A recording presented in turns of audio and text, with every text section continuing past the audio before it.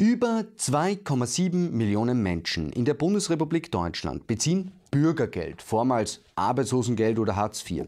Wie die Daten des Statistischen Bundesamtes ergeben, ist der Anteil der ausländischen Sozialhilfeempfänger dabei besonders hoch. Knapp 1,8 Millionen Bürgergeldempfänger besitzen keine deutsche Staatsbürgerschaft oder haben einen Migrationshintergrund. Damit stellen die Ausländer und Eingewanderten zwar weniger als 30 Prozent der Bevölkerung, aber über 60 Prozent der Arbeitslosen. Der Anteil der Fremden in den deutschen Sozialsystemen hat sich in nur wenigen Jahren dramatisch erhöht. Während Einheimische und Eingewanderte im Jahr 2017 noch jeweils die Hälfte der Sozialhilfeempfänger stellten, ist die Zahl der deutschen Arbeitslosen um 400.000 Personen gesunken. Die Gesamtzahl der Leistungsbezieher ist jedoch gleich geblieben. Das zeigt den Einfluss der Einwanderung in die Sozialsysteme.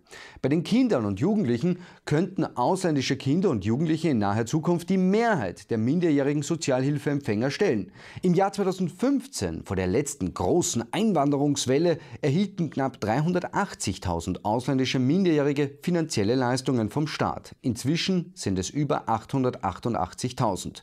Ausländer mit deutscher Staatsangehörigkeit sind allerdings in diesen Zahlen nicht erfasst.